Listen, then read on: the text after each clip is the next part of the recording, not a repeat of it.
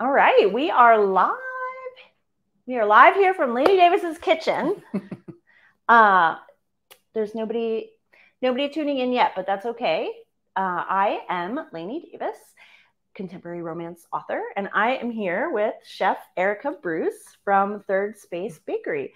You want to tell us a little bit about your business? Oh yeah, definitely. Um, we don't act. We're not actually in a space yet, but we're getting very close. Um, our goal is to be a, um, a retail bakery, you know, storefront cafe space by day, and then we're going to offer workshops and classes um, in the evenings, and like pop up events, and have guest chefs, and definitely we'll be doing some bartending classes.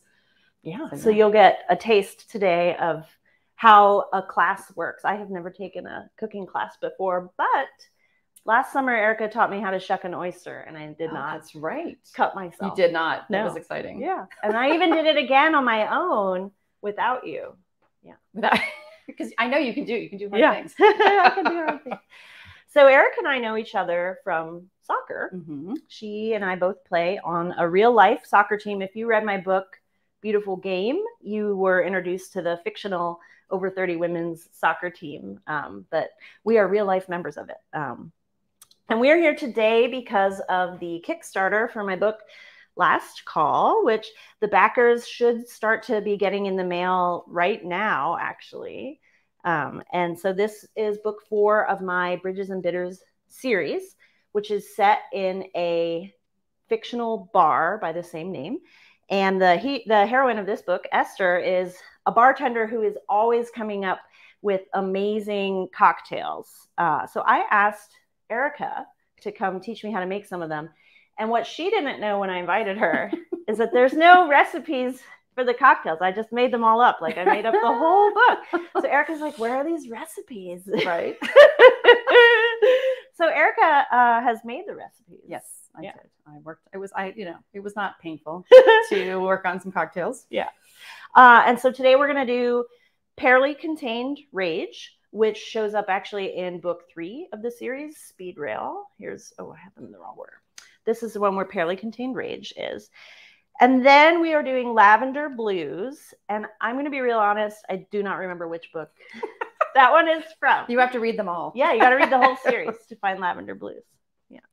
So, what should we do? What should we start with? Oh yeah, I think we should start with. Um, they're both fairly straightforward cocktails, but I think we'll start with the Pearly Contained Rage. Okay. Yeah, I think a lot of a little bit rage. more steps involved, and I don't know how much in detail you want me to get into like bartending in general, and or um, I know tools nothing. that you need. Okay, Yeah. so for this drink, I'll just go over what we're going to use for this drink. So um, we're going to be using a cocktail shaker, and this is what this looks like. It has, you know, the bottom part where you mix the drink, and then it has a lid, and then there's another lid on top where you would strain it out. In this cocktail, we're actually going to be using um, another strainer because Okay. we're using pear puree Mhm. and that I found got all like clogged up in the little holes of this one. Um, and we're also going to be using this is called a jigger, and this is like a way to measure. Um, I do recommend measuring when it comes to booze because sometimes it's really hard to kind of guess and estimate, and then it'll really throw off the flavors. Or like I tend to have a heavy pour, is what they call it. Sometimes my drinks will be like too strong. Mhm. Um, this, but you don't necessarily have to have one of these. You can also just use a regular like liquid measuring cup that you would have in a kitchen. Okay. So this one is divided. You can see one side's bigger, one side's smaller. The bigger one is two ounces, and the smaller one is one ounce. Handy. Um, some of them are both one ounce. It just depends. There's all different kinds you can get. There's like tall, skinny ones. Okay. Um, you can get any of them anywhere. You can get them on Amazon. Um, and then two ounces is equivalent to, um, is that right? No, two tablespoons. Yeah, two tablespoons and one ounce. So Okay. two ounces would be a quarter cup. So if you get a Oh. liquid measuring cup, you could measure a quarter cup of whatever. now, if I don't have a cocktail shaker, which I don't, can I not make this cocktail, or can I stick it in like a Tupperware with a lid? Um, you can actually. I was gonna. Bring, I forgot to bring a pint glass. Sometimes you can, if you just have the bottom part, you can put it in, um, a, a like a pint glass on top of this. Um, I'm Uh-huh. trying to think if you had like a, just a pint glass and then Mhm. you had a slightly smaller glass on top. Um, that would work with shake. lid to shake. Yeah. got it. You could do like you know if you had a big jelly container, you could do that. Yeah. Right. All right. So I'm gonna go ahead and start. I'm gonna fill this up with ice. We have Elizabeth here. Hello, Elizabeth.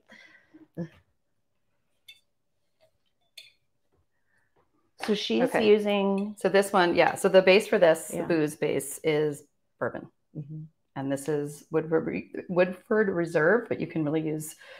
Oh, actually, this is a rye whiskey now that I look at it, and it was delicious. So maybe really any whiskey that you have. Well, I didn't know what to buy. I only ever drink beer. I never go to the liquor store. And if you've ever been to Pennsylvania, it's like it's really hard to get alcohol in Pennsylvania. It's- so it is challenging. I was in the liquor store just sweating. I had no idea there were so many whiskeys, and I I asked the clerk. I was like, I need I need you to help me buy a whiskey for this mixed drink that doesn't exist. it does exist now. It does now. We exist. We've willed it into existence. So that was two ounces Okay. of the bourbon slash whiskey, and then I'm going to go ahead and add. This is um, pear puree that I went ahead and made from canned peaches. All I did was strain off the liquid, and the syrup. Um, these were lightly sweetened. I would suggest that over like the really heavy, extra syrupy ones because Okay. it's going to be too sweet. Um, and again, this is another two ounces. I'm going to measure this into here. So equal parts pear and whiskey. Right. And what I'll do, Kickstarter backers, is share these recipes with you after uh, after we're done. Okay. And then uh, I'm going to be sweetening this with um, this is a rosemary infused simple syrup. Mhm. And there, there's also a recipe for this. It's super easy. It's equal parts. A simple syrup is always equal parts sugar and water, and you just bring it to a boil, Okay. And that's it. And then you can keep it in you your fridge. soaked the rosemary. and I did. I added rosemary to that, Mhm. um, and that's a great way to infuse flavor. It's like any kind of cocktail. You could like, I mean, really add anything. You can like lemon peel. You could Mhm. add, I don't know, black peppercorns, or I mean, like whatever.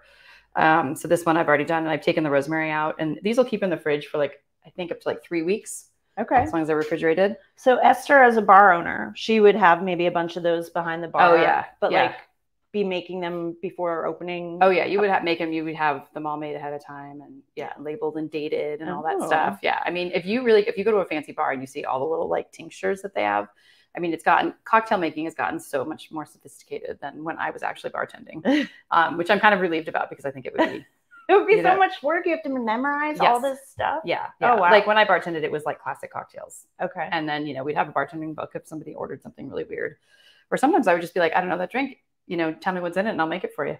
So then you just like you know deflect it to the Yeah. customer. All right, so we're adding the syrup, and Okay. this is three quarters of an ounce. So I'm just gonna fill up the one ounce thing up to three quarters. Just kind of eyeballing that, and you can adjust this, right? Add a little bit more or hold back if you don't like sweet Okay. things. And then we're gonna add some lemon juice, which is really important because this really balances out the drink. And I'm gonna go ahead before I squeeze and juice the lemon. I'm gonna prepare the garnish. So she's got a really sharp knife there, and she's cutting off a wedge of rind. And then we're gonna make sure when you're doing peel, you want to get rid of that white part because that's kind of bitter. Okay. That's the pith. Yeah. Now, when I zest my lemon, I use this guy. I don't know how to do it otherwise. Yeah, that's a microplane or a Hmm. rasp, which I guess was originally a woodworking tool, Oh. which I think is so interesting. And I just ruined that one, so I'm going to make another one. I Um, I know, right? Because it's live. Um, yeah, that's great for like little bits, and that's a great way to like flavor a drink. okay. Um, but when you're drinking a drink, you don't really want to get the little pieces. Aha. Oh, that makes Um, sense. yeah, so this is just going to go on the edge of the glass if I can get this white stuff off.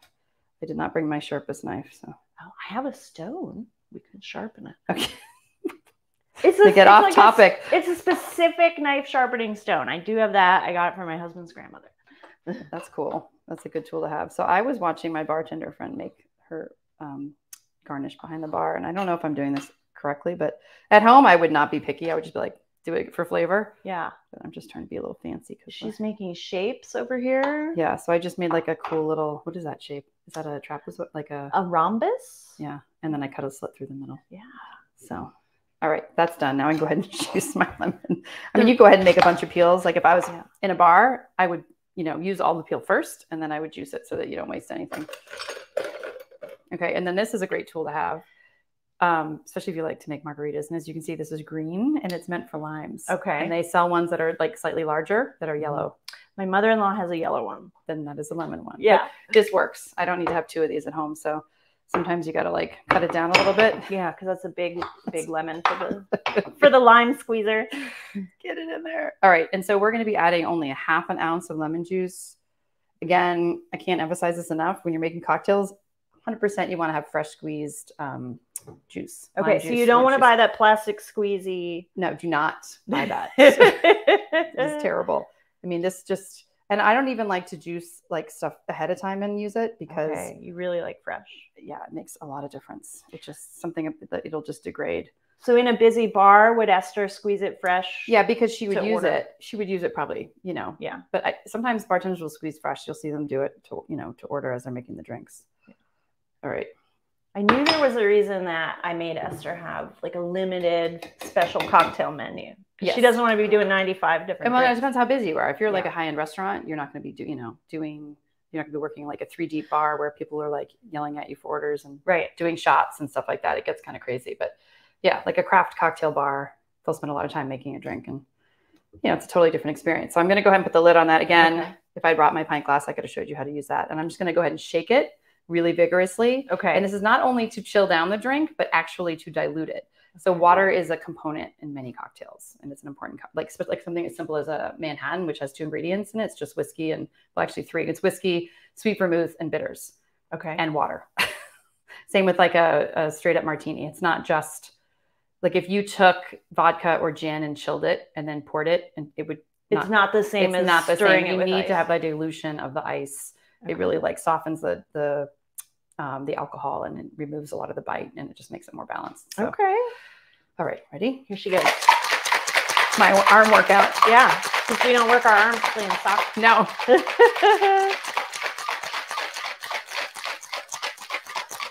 Sometimes you'll see bartenders, you know, but I'm afraid Oh. that I'll dump it down my back because yeah, that would get all over my kitchen. Yeah, that would be bad. Okay. So now I'm going to strain this. And Okay. This is a like a coupe glass. Very, Very fancy, cocktail. You could do any kind, any glass really, any like a martini glass or whatever you wanted to do. Okay. And so, It's hard to see. can you guys see? We'll, we'll Oh, show. We'll oh, give we have another. up. We have another guest. Uh, Mm. Melissa is here. She's intrigued by the lavender blues. That one, we're gonna do that Coming one up next. Oh, I'm getting some. See that pear puree really like bogs it up. Okay. So um, in the book, Esther talks about a muddled pear. Oh, okay. Um, you wouldn't know that. Uh, I should know that. or maybe I didn't type that. up. Maybe I just thought it in my mind. But I didn't know what muddling was. Well, when I- muddling is a sense like making it. I mean, basically, it's the same thing as a puree. You're just Okay. making the puree into the into the. So she would just put her like chunks of pear and then take like a muddler, which looks kind of like a baton or something, and you just like a wooden yeah. and you mash. You would mash it up in here. Okay. So I just did it ahead of time. Okay, we're done. doing- What happened to my garnish?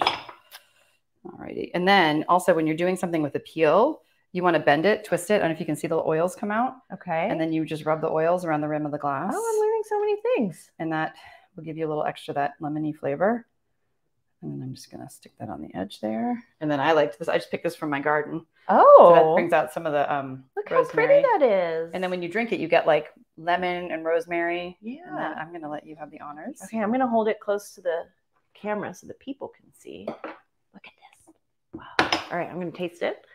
Because it's noon somewhere. Mhm. It's noon here. That is so nice. Isn't that good?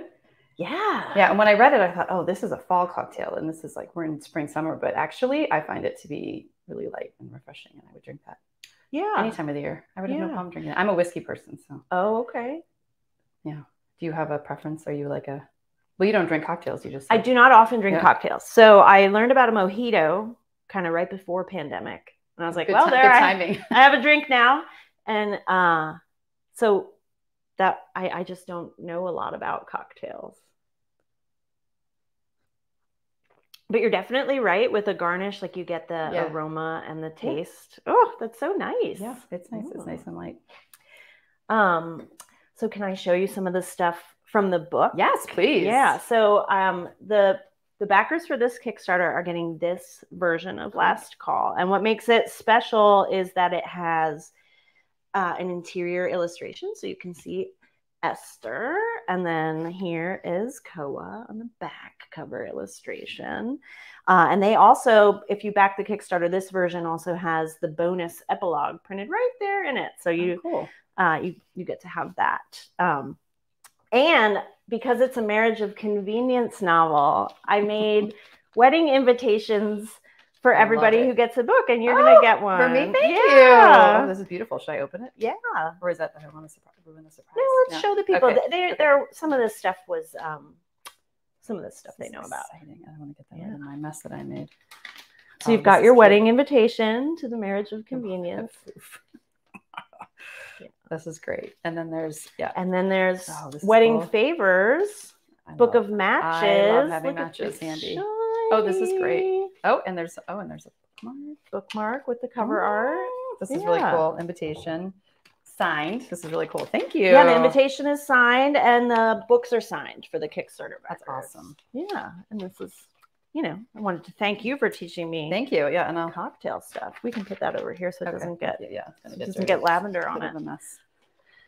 Oh, should we do the second one? I'm ready to do the second one. Okay. I'm just gonna sip this one while you make a second one. We should have scheduled this at five o'clock. All right. So this one made more sense. is a little more straightforward. okay. Um, this is what you call building right into the glass, right? So instead of you don't have to have a shaker and you know, and then make it one place and then you know transfer it to another glass. Okay. And then this is a gin based drink, which is really nice for this time of year. I want to pause Yep. because again, I didn't know anything about gin. So I was at the liquor store and this made up recipe I had written down Hendrick's. I didn't know Hendrick's is like a special gin. Oh, It it's has very special a and it's sometimes very hard to get. Yeah. So again, I'm sweating in the liquor store. I've already borrowed the clerk one time, bothered him. And I was like, okay, now I need you to tell me about gin. Oh wow. and then he went like in some sort of musty back room to find me this smaller bottle because they did have a bottle of Hendrick's. It was maybe Mm. this big and a hundred Yeah, dollars. it's pricey. Yeah. Um, it's a great gin. It's not too heavy on the juniper, which is why I like it. Oh, could I will tell you what I don't like is the bottles are like totally black and you Yeah. can't see through and you can't see so you don't know how much you have like left. how much do I have? And I don't know if Yeah. they do that on purpose, but no, it's a great gin. Um, again, when you're mixing cocktails with alcohols and you're not drinking, like if I was drinking this as a martini, I could really appreciate its flavor profile. But when you're building a cocktail, again, you don't need to spend a ton of money on a real fancy, you know, gin or bourbon or Okay. vodka or whatever. Like you, you can kind of go middle of the road. And I do the same thing when I make margaritas. Like there's a whole variety of different tequilas you can get, and you can get aged tequilas that are meant to be like, you know, just had straight up in a snifter. Like you wouldn't want to mix that into a margarita because that's just kind of a waste okay. expensive tequila. So you can just get some silver tequila, something a little bit middle of the road. Okay. But you don't want to get like the worst because then you know you might get a hangover. But Well, the liquor store guy was saying that this is like a really um, floral Mhm. botanical gin. Is there another kind of gin that would Mm. also work if people don't want to buy Hendrick's? I mean, I think almost any type of gin, again, when you're mixing it with something as flavorful as the syrup we're going to be adding, Okay. um, because you know this has got the lavender in it, and so that's kind of going to. I mean, it works really well with it, but honestly, like I think you could use. I'm trying to think of a middle, like Beefeaters. Oh, would I be- did see the Beefeaters. Yeah, I mean, for something like this. But again, if you you know want to make it fancy, and I mean, this was delicious. I mean, I'm not saying. I'm excited. Okay, so all right, we are going to go ahead and add ice to our glass. If you have like a crushed ice setting on your refrigerator, Mhm. this works really well with crushed ice. It's very similar to like a Moscow Mule, and that's what you would use in a Moscow Mule in those fancy like copper mugs. Yes, So, but we just Okay. gonna use regular ice in this in my hand. it'll be fine. Oh yeah. And you want to really fill up the glass Oh, with ice. okay. That's more ice than I would have thought. She's rinsing. I'm rinsing the, pear. The j- j- jigger. It's a jigger, yeah. She's rinsing the jigger. We're getting jiggy with it. I'm not at anything to drink. I know. just for the record. All right, so I'm gonna go ahead and add two ounces of the gin to the glass. That pours pretty nicely. I was worried with that wide. Yeah, the trick is would- just not spilling it. Just Yeah. And you see bartenders, they just do real quick. They're like, "Shoo, shoo, shoo." okay, I don't know how they do it, but I don't have those skills anymore. Alrighty, and then we're gonna go ahead and add two ounces. This is a blueberry lavender syrup. I actually just made this with frozen blueberries. I did a bag of fro- frozen blueberries, um, sugar, a little bit of water, and then I had these lavender buds, which I'll show you in a minute. Okay. And was that kind of the same process as the simple syrup? Yeah, basically. But you're making it. You're and I this one I cooked a little longer because I wanted to cook down the berries until they start to burst. and release their juices. And the reason I you can't just juice raw blueberries, you can get the color. Right. And to me, like this is a big part of this drink. It's got an absolutely gorgeous color. yeah. And then this is what I this is an edible. Gonna Um, you can buy these on Amazon too. I don't know if you Yeah, can see them, but they're they little rose. Um, sorry, not rose. They're lavender buds. lavender buds, and then we do have a special item in there. Yeah. She'll tell you about Yeah, that next. but I use these in my baking. I infuse like my lemon curd with them, and make syrups out of them. Her lemon curd is so good. Oh my gosh. You made you made this cake Mhm. for a soccer party. And it was lemon lavender lemon curd Oh, with blackberries. with blackberries. Yeah. It was the best cake. I'm still like and then there was meringue on there. Yeah. Oh my And I was thinking this would work really well with blackberries too, because the blackberry, lavender, the blueberry, they have a similar flavor profile. Okay. So, okay, now we're gonna add um, ginger beer. This originally in the book it calls for ginger bitters. Oh, Or ginger Oh. ginger something. Ginger And liqueur. I remember Ginger that. liqueur. Yeah, that is And hard to find. I could not find it. Even the guy at the liquor store couldn't find it. Okay, so you're just Just filling up the rest of the glass. Yeah. Ginger beer was easy to find. That was at the grocery store. Yeah. And then so what we're adding instead is lavender bitters. Yeah. So, um, and there's you can get bat- so many different flavors of bitters these days. So you just gave that a little shake. Just a couple, like two or three. Again, add more if you like it. Mhm. You know, it's totally. I'm gonna give that a sniff. Yep, Yeah. I don't even know. I don't know what a bitters is, but this is from Wigle Whiskey, which Wigle is a local Pittsburgh um, distillery. Is that what Mhm, we say? yep. Yeah, and they are women owned, and I love them. They make all kinds of cool Oh, stuff. it's still yeah, they are delicious, and they do really cool tours too of the. I went on Just- a yeah, tour yeah, a long Really time ago. interesting. I know, and then you're like, this is really interesting. Then you forget everything you learned. You're like, okay. Mhm. So, and then I'm just gonna garnish. I had some candied ginger, Okay. and I'm just gonna throw this right on top because there's so much ice. Um, So you just and I, yeah, if I had fresh blueberries, I would like sprinkle some of those in there because that's kind of fun. Um, you can if you want to add the lavender. I don't know because I don't want to get it sucked up. So I'm just gonna oh, leave it that You bought me a straw. I did, Oh. and then you can just go ahead and mix that up a little bit, and that's it. okay. So, So, I You can make your just syrup. like this. Yeah. You have Oh. your syrup made ahead of time, and My garnish sank. oh, it's all right. It's gonna be okay. It'll be your reward at the end. Okay. I'm gonna sip it. Oh, that's like juice. Right. Oh, here comes the lavender. You get it? Yeah.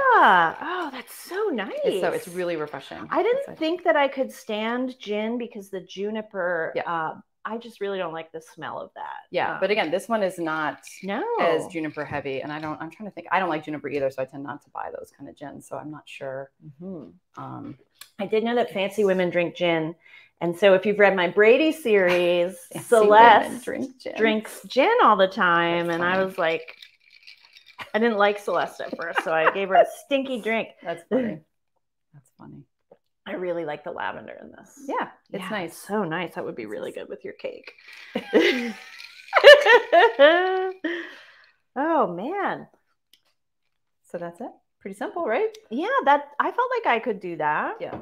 Does anybody does anybody watching have any questions? Let's- well, you could give them a second to uh, think about that. But what you know, what's going on with Third Space right now? I know you guys are locating a space. Do you have Yeah. stuff happening this summer? Yeah, we're um yes, we have been teaching. Well, they're already over now, but we taught a few cooking classes at Phipps. They have a beautiful teaching kitchen. Um, so that was a really nice experience. And we did one for teens, which is always exciting, teaching knife skills to teens. But Oh, I am really passionate about teaching um, older kids how to cook. And um, You did a camp last summer for teenagers. yeah, two summers in a row. We did not do it this year because we're just a little too busy with the business. But um, so my partner Beth Taylor um, and I um, taught that camp, and then our third partner is Chloe Newman, and she right now is um, running Crustworthy, which is a big yeah. But she does sourdough breads, and she sells at the Bloomfield Market.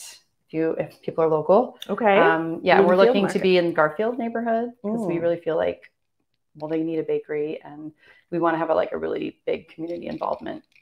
now, when you uh, you were t- teasing out spaces, have you you haven't like signed papers for? Getting close. You're getting close. I don't want to jinx anything. Yeah. Oh man. It's very exciting. And then we'll have a lot, you know, we'll still have a lot to do because they'll, we'll need to build out a kitchen and the permitting process is complicated. Yeah. Mm. Running a food business is really, really difficult. Um, not sure why. That I guess you have to be really passionate about it. Yeah. But, Well, um, I haven't written any. All my books are set in Pittsburgh, but I haven't written Garfield neighborhood yet. yeah. I'm Maybe- always interested how you get your inspiration and your ideas.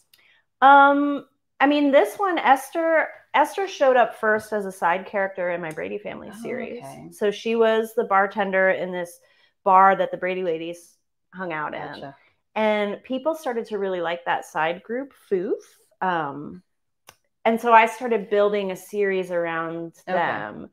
I don't want to say all the way what Foof stands for because then my YouTube video will get tagged as explicit, Ah, but it's yeah. fresh out of F's.